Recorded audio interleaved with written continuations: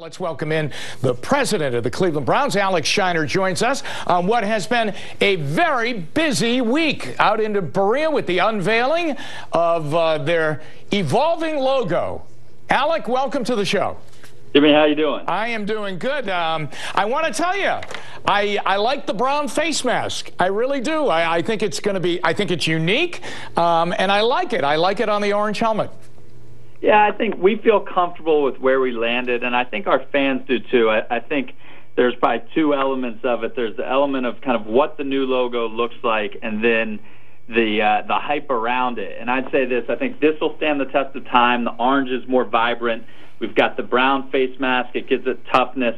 And then, like I've said before, the uniform will be kind of a more revolutionary than evolutionary, and that'll be a lot of fun. Now, Tell me this, when you're thinking of doing this, and of course, this wasn't just done a couple of weeks ago. I mean, you have to really inform the NFL that you're thinking of making these changes. Commissioner Goodell last night, when he was speaking down in Canton, said that he approved and had to approve everything that you were sending down the pipe at him the logo, the helmet, the changing of the uh, shade of orange on the helmet, uh, the, the, the new uniforms that are coming up and will be unveiled on April 14th. But as you well know now, in your, in your period of time here, Browns fans are truly very sensitive about the look of their uniform, about that helmet, and how it remains without the logo. And I know that you are very sensitive to this and take this into great consideration as you make these kind of, you know, this makeover.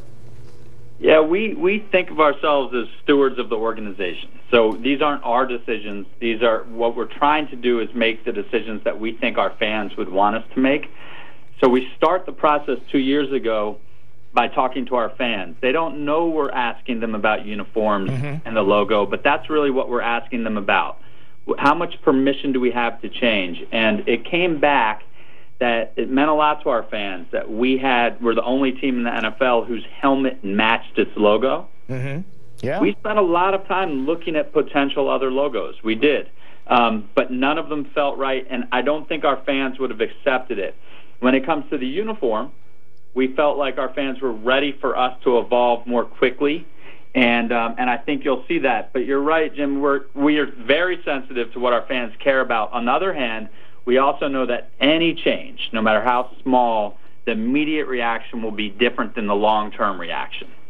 Absolutely. You know, one time I was talking to a couple of the equipment guys uh, that, you know, get a look at the uniforms and, and, you know, get the team ready and get the uniforms ready each and every week. And they said they were amazed at the amount of mail, for instance, or telephone calls to the switchboard out in Berea they'll get if a fan or a group of fans notice or detect that maybe the orange stripe on the pant is a little bit wider or thicker than it was in the years past. They are they say it's unbelievable how particular people are about the Cleveland Browns uniform.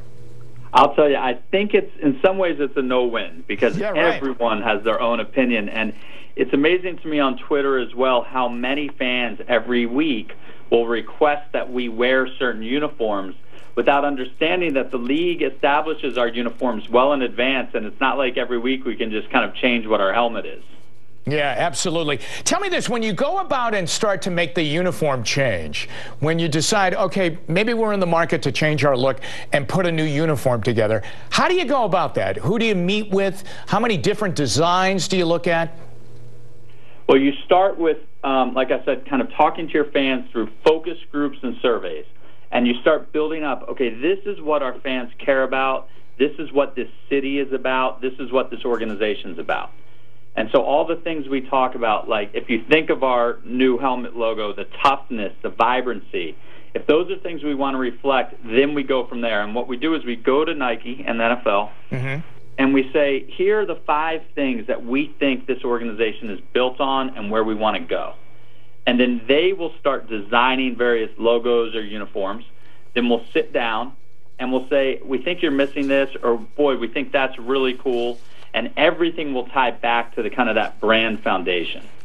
Um, so the unveiling of that is coming up on April 14th, and that's a day that Browns fans will have circled on the calendar as they get a look at what the Browns' new uniforms are going to look like. Alec, uh, the commissioner was in Canton last night, uh, and in a long-form kind of a town hall type of setting, meeting, being questioned by the great Hall of Famer Dan Dierdorf from that area, incidentally. Um, but he had some very nice words to say about Jimmy Haslam. I mean, very, very, you know, fond of Jimmy. Said that we're lucky here in Cleveland to have him as the owner of the Browns. That it is uh, there are no quick fixes in the NFL, uh, but that he's on board with the way that Jimmy is running the organization, and he's proud to have him in the league. Very, very high marks from the commissioner. You know, I think uh, we recognize that the first two years um, have been a bit rocky. I mean, I, and I think Jimmy has said publicly that there's a steep learning curve for a new owner. I've been fortunate enough to be around NFL owners and NFL franchises for about the last 15 years. And the one thing I can say with tons of confidence is we have a great owner here because he gives us all the resources we need, he holds us accountable, and he asks the right questions. And I think anyone who spends time with Jimmy will understand just how passionate he is and just how smart he is.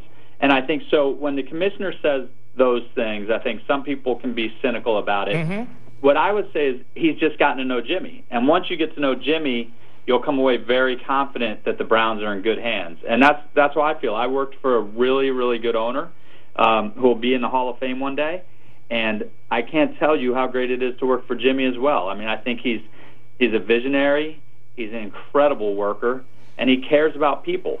So I feel I don't I think the commissioner is right on. And if uh, if I didn't believe that, I wouldn't have come here. I moved my family because I believed it, and nothing since that time has changed my opinion.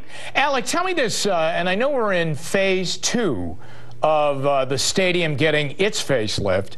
And I think a lot of people really liked phase one and the end product of that. That was a that was a great look inside the stadium. The video boards were exceptional. They were top of the league as far as the NFL is concerned. I mean, it, and it definitely needed updating. And uh, and it, and it was fantastic. The sound seemed to be bigger. So whatever you did with the configuration of the field, and I don't want to go architectural here, but I mean, it really worked because the you know it it, it, really made the place very, very loud and intimate, I think, at least for the Browns when they were in there, and I thought that was great. But I know phase two is going on, and, and tell us what that is and how that's going. Well, I always say that phase one was about the outside of the building, and phase two is really about the inside. And so, if you think of our concourses and our club areas and our suite areas and the lights and all of those things, they haven't been touched in about 16 years and we will retouch every aspect of the stadium. Um, so, number one, it'll just feel like a different stadium when you walk through those concourses. And number two, we'll introduce new chef concepts throughout the stadium. I thought when, when we got here, one thing I liked was we had such good local chefs in the club areas. One thing I didn't like was they were only in the club areas. And I thought all of our fans should get to take advantage of such great chefs and restaurant concepts. Um, so that's phase two, and I, I just walked the stadium yesterday, and it's it's interesting. It's like a house.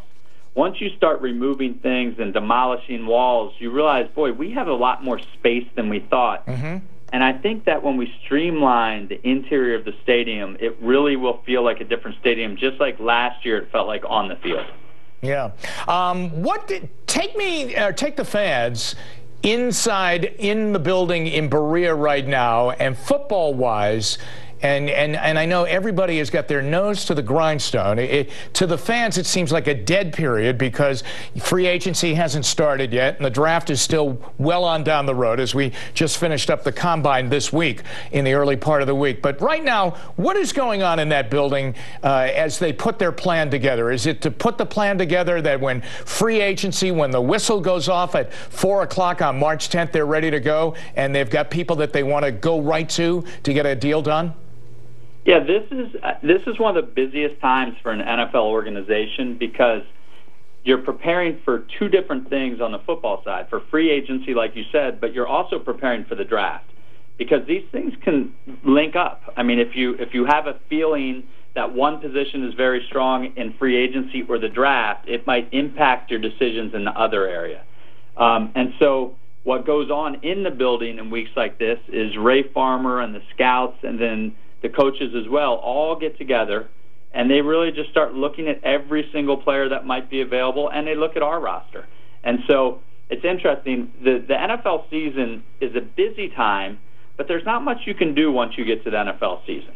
This is the time where you refurbish and, and kind of renovate your roster so you go into the following season. Um, on an update on training camp, now you came out the other day in the uh, in the media meeting, the meeting with the media, on the day that the logo was unveiled, and uh, you also confirmed that training camp is in Berea this summer. I mean, there is no that you're not going to go anywhere else this summer. You're in Berea, right? That's correct. Now, what about the and, and, the possibility still lingers down the road in future years that uh, you might go to a different location? You may be there for a couple of weeks, or if not the whole camp. That's right. So when we started the process this year, um, the main thing we kept in mind was what's best for the football team. Uh, Coach Pettine had talked about getting the football team away, getting everyone a bit secluded. We looked at various places, but we always had the threshold question being, do they have the facilities we need right. to be successful? For this summer, the answer is no.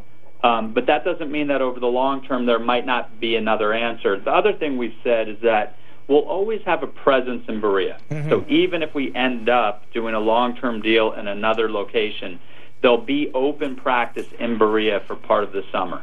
And then lastly, Last year we had Family Day in Akron. We thought that went really well. Yes. We're still thinking about where to have our Family Day this year. Yeah, that was a good day down there in Akron. Final point to you, Alec, and uh, I watched uh, Mike Pettine with great interest during his meeting with the local media and the national media at the Combine. And once again, uh, Mike Pettine has that rare ability that a lot of coaches struggle with sometimes, that rare ability to win press conferences because he's blunt and he's to the point and he's right on the mark. And I thought he did it again in Indianapolis. And I thought, you know, he took some of the, you know, cynicism that I really thought that, you know, the Browns were going to face down in Indianapolis because of what had gone on since the end of the season. And I think he took a lot of the air out of that. Yeah, the, the thing about Mike is he's exactly the same guy we interviewed when we interviewed for head coach candidates. He was just like that when we interviewed him.